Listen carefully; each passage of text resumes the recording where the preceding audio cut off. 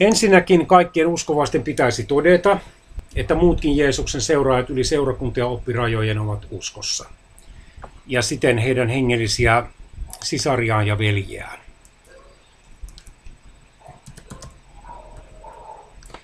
Toiseksi heidän on annettava Jeesuksen puhdistaa heidät kaikista syntisistä asenneteista. Kolmanneksi heidän on vilpittömästi pyydettävä Jumalalta pyhän hengen täyteyttä. Neljänneksi heidän on saarnattava todistettava evankeliumia rohkeasti ja raamatun mukaisesti. Viidenneksi heidän tulisi pitää toisinsa jatkuvasti yhteyttä. Kuudenneksi heidän olisi säännöllisesti ainakin pari-kolme kertaa kuukaudessa pidettävää yhteisiä hengellisiä kokouksia. Seitsemänneksi heidän tulisi vierailla toistensa luona. Kahdeksanneksi heidän pitäisi järjestää yhteisiä rukouskokouksia. Yhdeksänneksi ää, uskovaisesti olisi järjestettävä yhteisiä herätyskokouksia valmisteluineen. Kymmenenneksi heidän pitäisi huolehtia siitä, että uudet uskovaiset pääsevät terveesti kiinni uskon elämään, löytävät Jumalan heille tarkoittamat hengelliset kodit, yleensä paikallisseurakunnat, ja että yhteys heidän sekä vanhempien uskovaisten välillä säilyy. Tuossa kristittyjen raamatullisen yhteyden ohjelman julistuksessa oli siis yhtä monta kohtaa kuin kolmisen vuotta aikaisemmin poisnukkuneen pastori Kaurin testamentissa. Niin kallisarvoisesta asiasta oli Tapion kohdalla kysymys, ettei hän pelkästään kirjoittanut siitä, vaan hän myös saarnasi järjesti kristittyjen yhteisiä hengellisiä tilaisuuksia ja rukoili asian puolesta.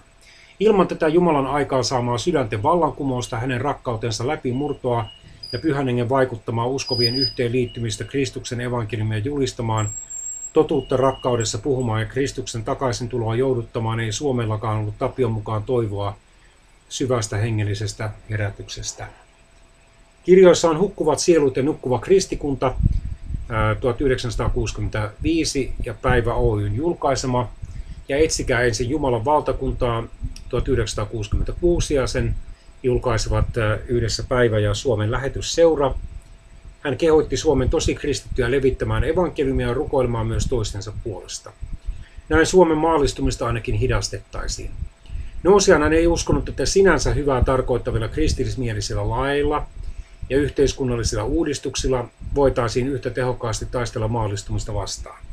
Ihmisten sydänten oli muututtava. Eikä tuota muutosta voitu saada aikaan lakeja laatimalla, vaan evankeliumia julistamalla, rukoilemalla ja olemalla avoimia Jumalan johdatukselle sekä hänen antamalleen hengelliselle herätykselle ja uudistukselle. Kuten tässä Evelämä kerrassa myöhemmin kerrotaan, nousiainen ei uskonut niin sanottuun myönteiseen oppiin lopun ajoista eskatologiaan, jonka mukaan maailma kristillistyy jo ennen Jeesuksen takaisin tuloa. Seurakuntien pastorien työtaakka oli huomattava rasite heidän evankeliumistyölleen jo 1960-luvulla. Niinpä nousiainen ehdotti kirjassaan Hukkuvat sielut ja nukkuva kristikunta, että toimistotyöntekijät tai sihteerit mahdollisimman paljon vapauttaisivat pastorit hallinnollisesta paperityöstä. Lisäksi eri seurakuntien pitäisi useammin sallia kokeneiden maallikkosaarnaajien ja evankelistyön saarnata hengellisissä kokouksissa silloin, kun pastorit olivat liian uupuneita tai kiireisiä saarnaamaan tai muuten estyneitä tulemaan kokouksiin. Käytettiinhan sodissakin välillä kokeneita aliupseeria ja reservin sotilaita. Miksi ei siis hengellistäkin työtä voitaisi välillä vetää maalikkovoimin? Nykyään jotkut paikallisseurakunnat, erityisesti City, Solu ja kotiseurakunnat, huomattavan usein antamat, antavat maalikoiden saarnata kokouksissaan.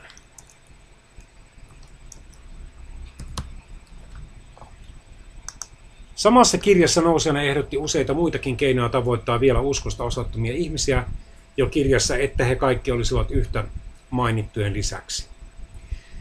Uskovaisten tulisi uskaltaa kutsua ei-uskovaisia ystäviään koteihinsa ja kertoa heille siellä luontevasti Jeesuksesta, omasta uskoontulosta ja Jeesuksen seuraamisesta.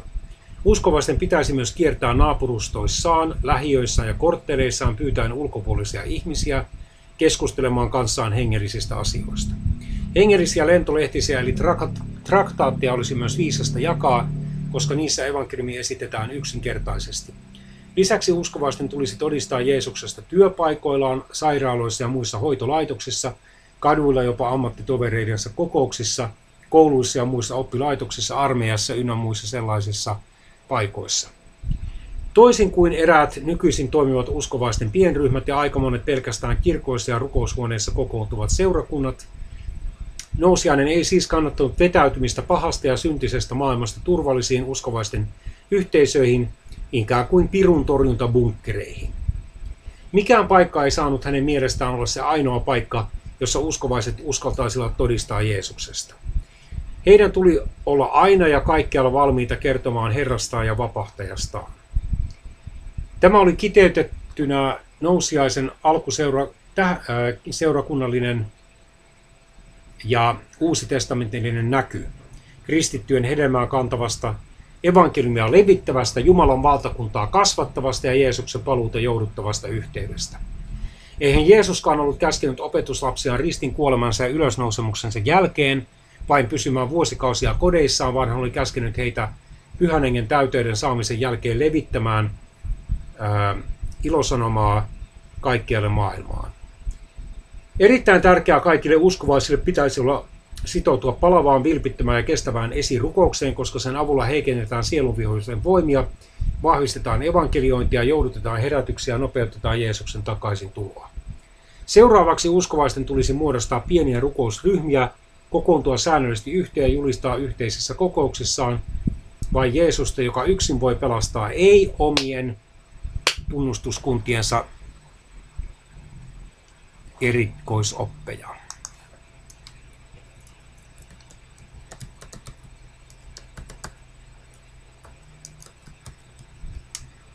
Näin mahdollisimman monet uskovaiset saataisiin ravisteltua hereille ja irti jumalallisesta joutilaisuudesta eli hengellisestä laiskuudesta – joka oli vaivannut suurta osaa kristikunnasta jo 300-400-luvulta lähtien, jolloin ensimmäinen kristillinen valtion kirkko, katolinen kirkko, muotomenoineen ja virkapapistoineen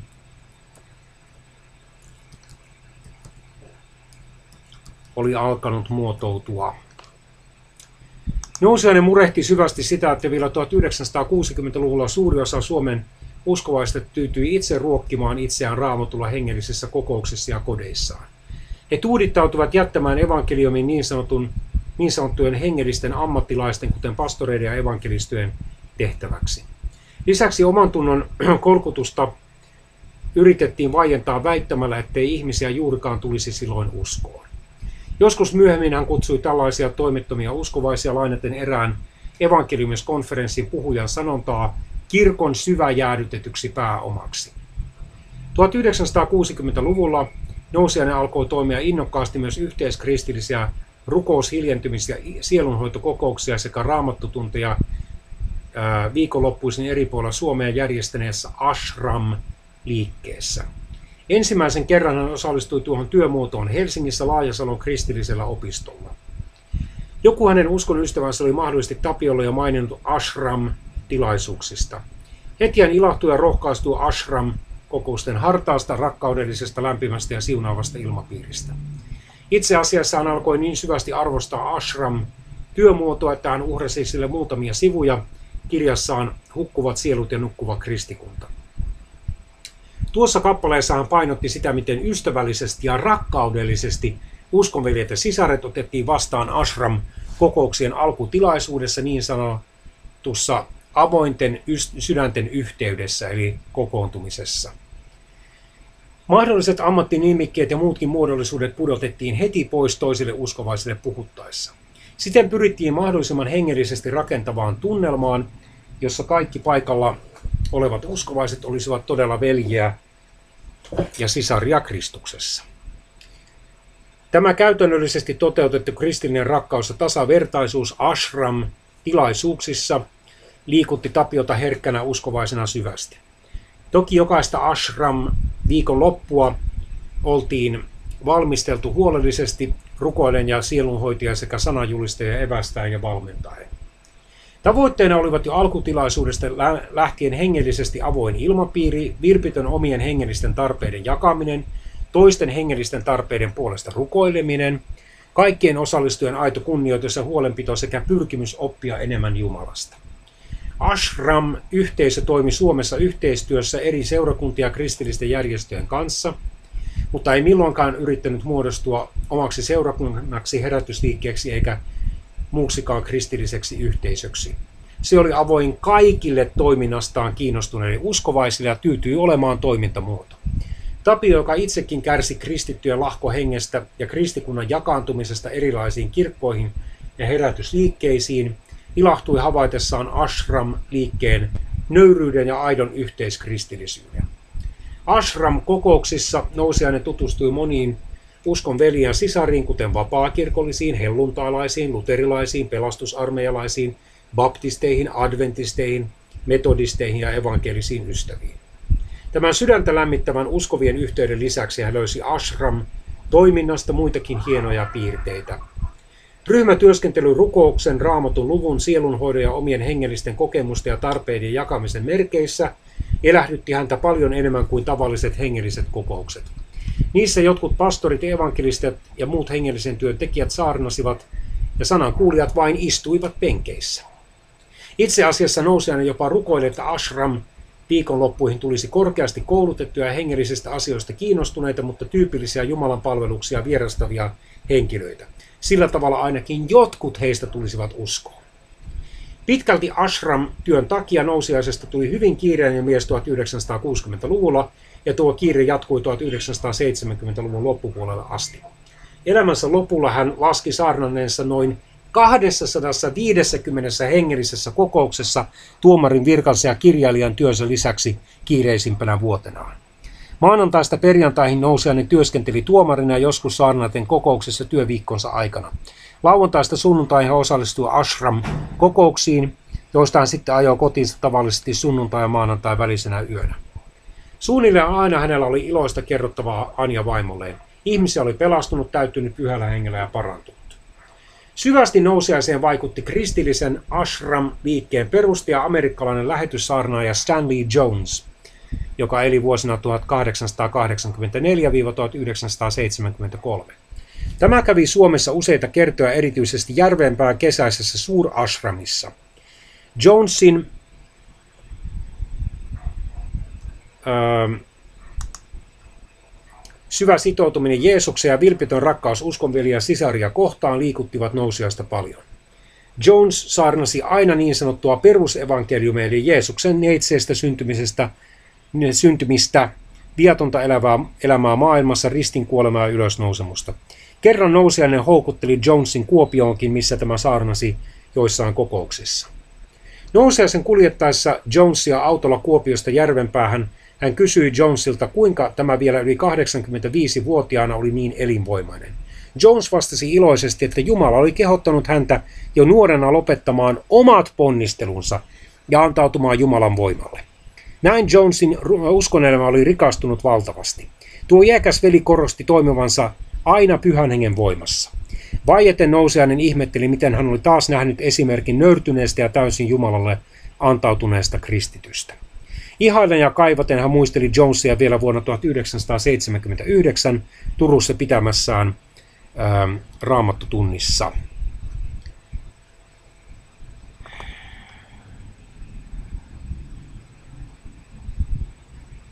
Tai ehkä Turussa pitämällään raamattotunnilla.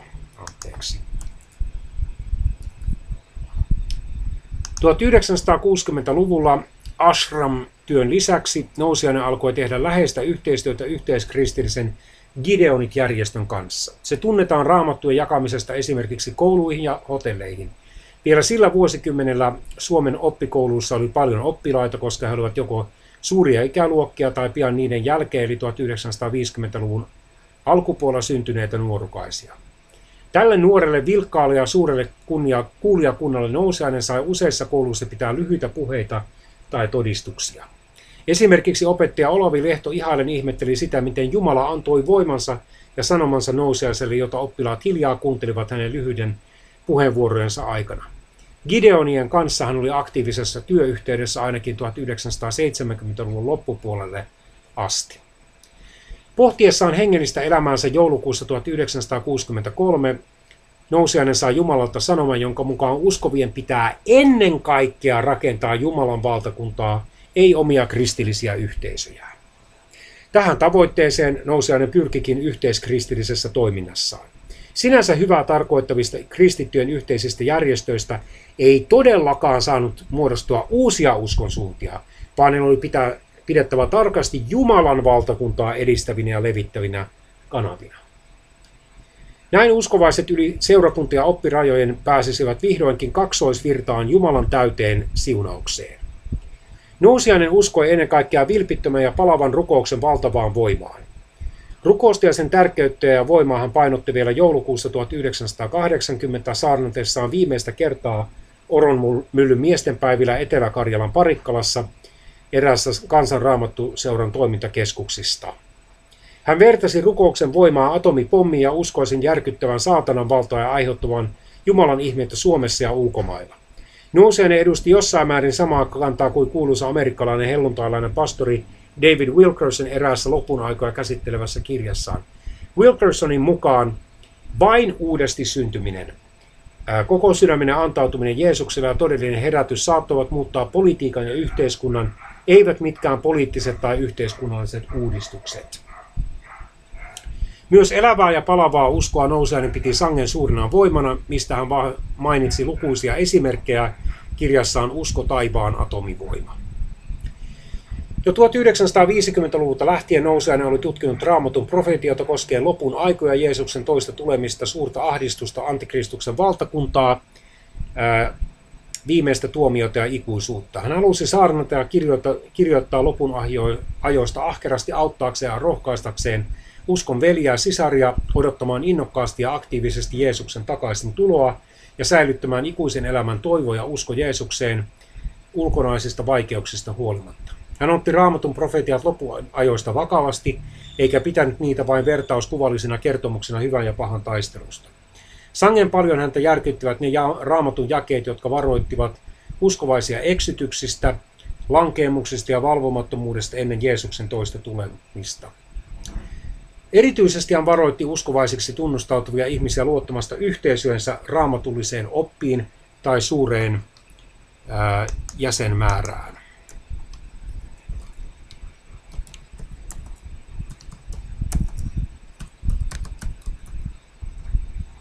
Järkyttävästi hän totesi asiasta kirjassaan Mikä hetki yöstä on.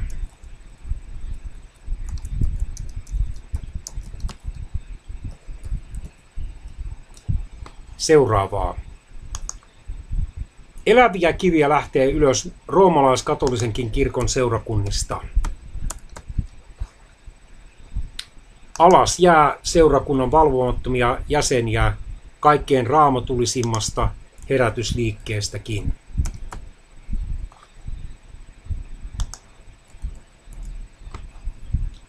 Erityisen tarkasti hän seurasi Jumalan omaisuuskansan Israelin sekä kaukoidän jättiläisen Kiinan tapahtumia.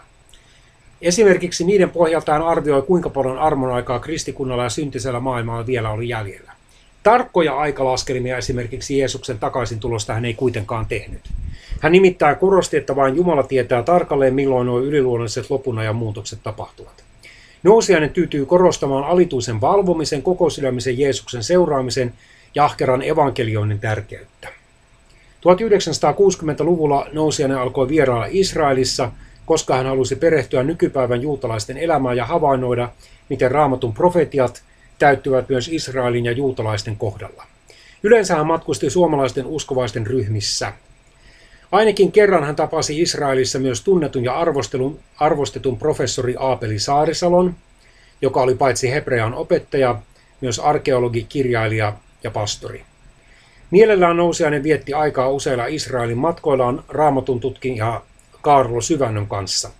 Tämä osasi sujuvasti raamatun alkukieliä ja keskusteli, kuten professori Saarisalokin, usein lopun aikoihin ja Israeliin liittyvistä asioista.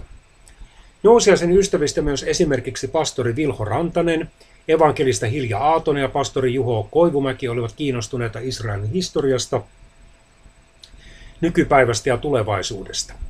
Israelin vierailunsa nousiainen Vierailuihinsa nousiainen viittasi välillä myös saarnoissaan, kuten YouTubesta löytyvissä puheissa Jumalan 14 ihmettä Israelin kansan kohdalla ja Israel ja tämä sukupolvi.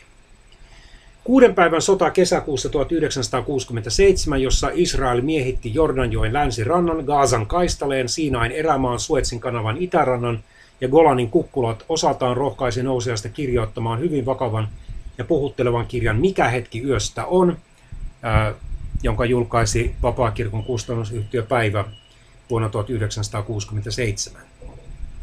Siinä hän vertasi raamatun profetiota lopun ajoista 1960-luvun tapahtumiin ja julisti, että Jeesuksen takaisintulo oli sangen lähellä ja että uskovien pitäisi valmistautua tuota suurta tapahtumaa varten, samalla julistaen ja levittäen evankeliumia mahdollisimman ahkerasti. Hengellisestä velttoudesta ja laiskuudesta hän toistuvasti varoitti muita uskovaisia sekä nuhteli itseään noista paheista.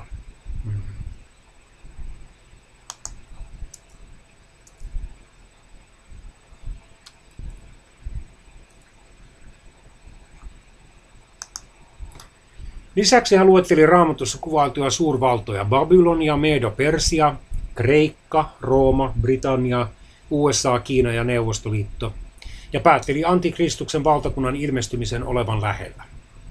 Hän uskoi antikristuksen hyödyntävän kommunismia. Toisaalta nousiainen korosti, että antikristus tulee vaatimaan kuoleman uhalla kaikkia ihmisiä palvomaan itseään Jumalana.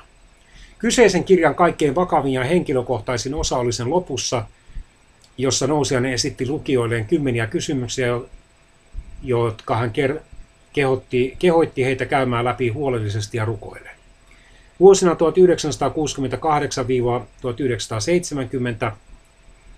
Nousiainen ehti ja jaksoi kaikkien muiden töidensä ja toimiensa lisäksi opiskella yksityisesti Helsingin yliopiston teologisessa tiedekunnassa teologian kandidaatiksi. Hänen opettajanaan toimi professori Aimo T. Nikolainen, joka myöhemmin palveli Helsingin hiippakunnan piispana.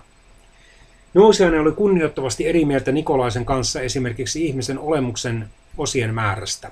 Nousiainen uskoi, että ihmisellä on henki, sielu ja ruumis, kun taas Nikolainen uskoi ihmisellä olevan vain sielu ja ruumis.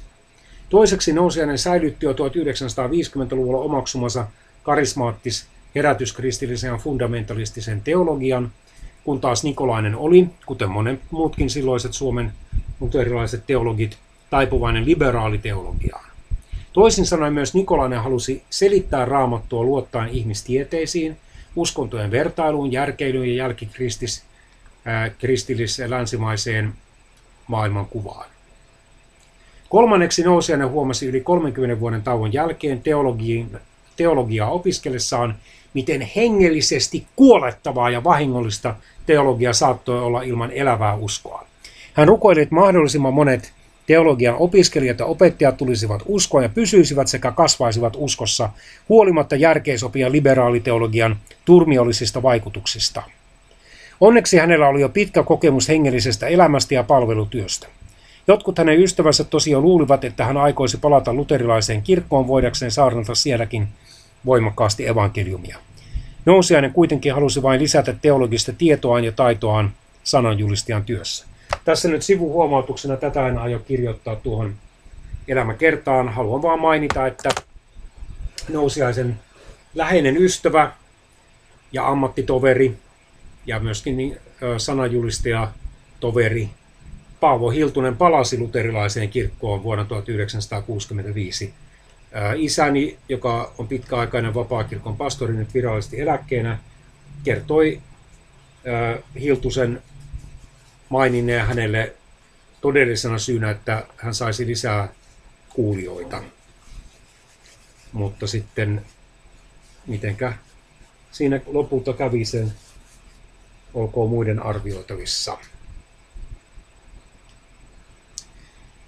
Vuonna 1970 nousijainen alkoi myös pitää vuosittain Parikkalassa Oromyllyleiriä kurssikeskuksessa pitämä, ää, käydä vuosittain Parikkalassa Oromylyn leiriä kurssikeskuksessa pitämässä raamattu tunteja kansan raamattuseuran järjestämillä miesten päivillä.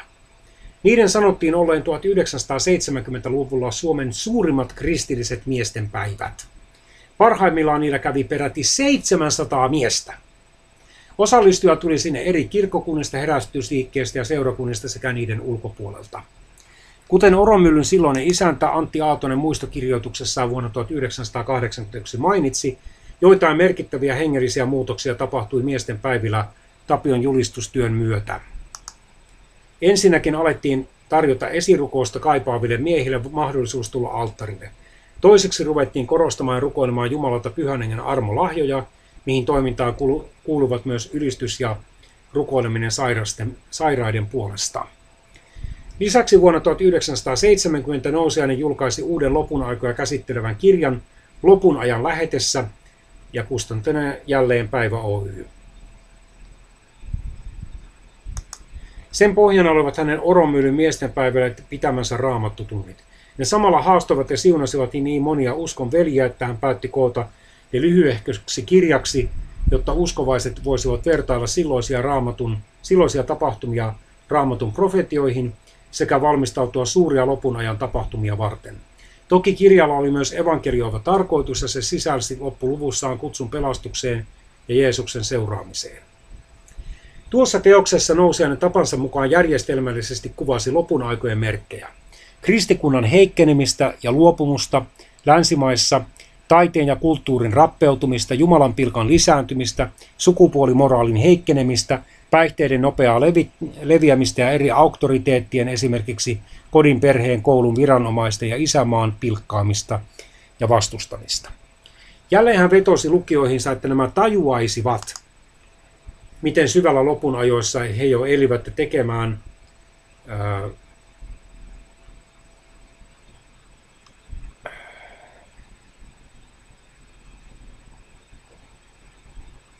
ja el, niin.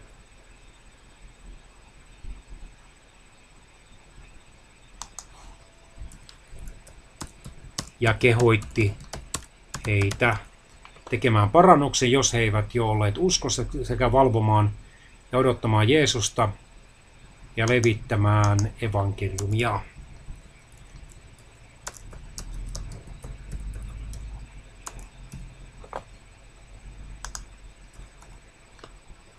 Surullisena nousijana oletti, että Suomi oli suuressa vaarassa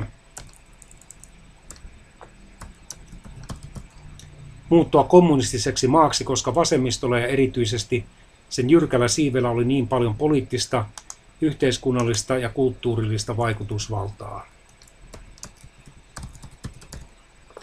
Samaan ryhmään ähm, nousiainen liitti Italian ja Kreikan, joissa oli myös vahva kommunistipuolue.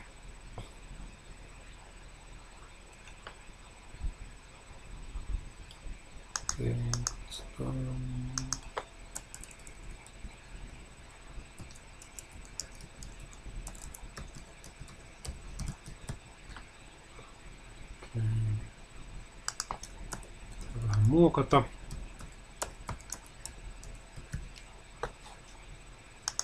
Nousijan ei kannattanut niin, niin sanottua myönteistä eskatologiaa eli oppia lopun ajoista, joka tunnetaan nykyään esimerkiksi nimillä valtakunta nyt, dominionismi ja seitsemän vuoden strategia.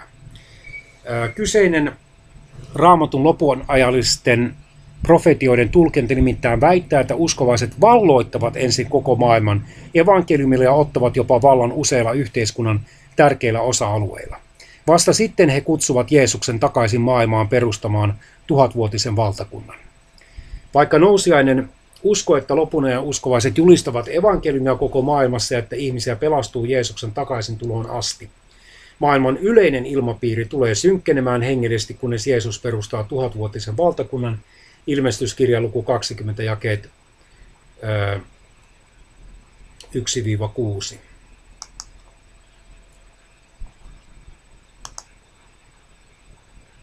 Kuitenkaan nousijana ei halunnut uskovaisten lannistuman eikä lopettavan evankeliointia, vaan lisäämään sitä ja sitä jouduttavan Jeesuksen paluuta.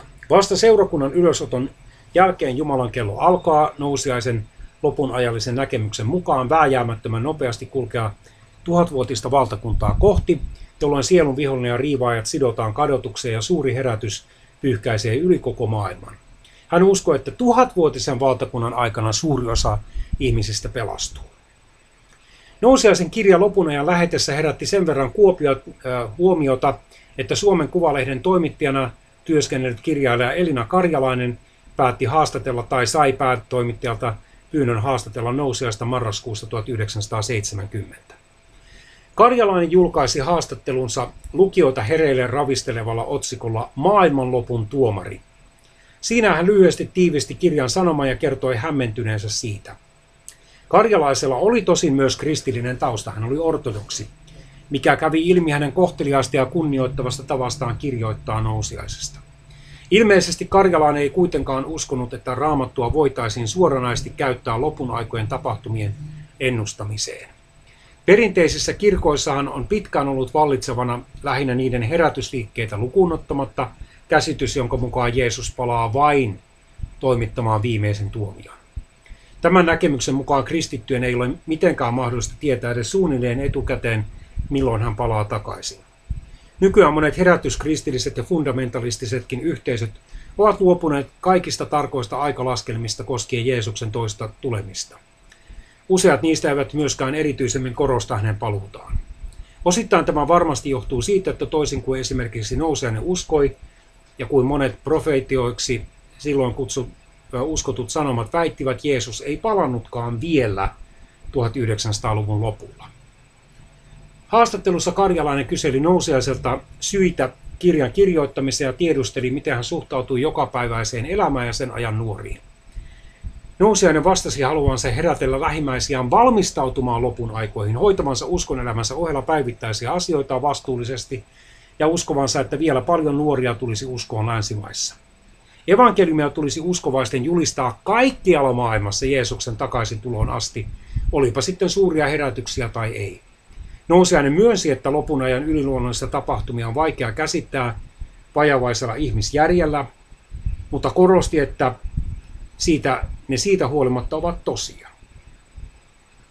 Emmehän pysty rajoitetulla ymmärryksellämme täysin tajuamaan Jumalan luomistekojakaan.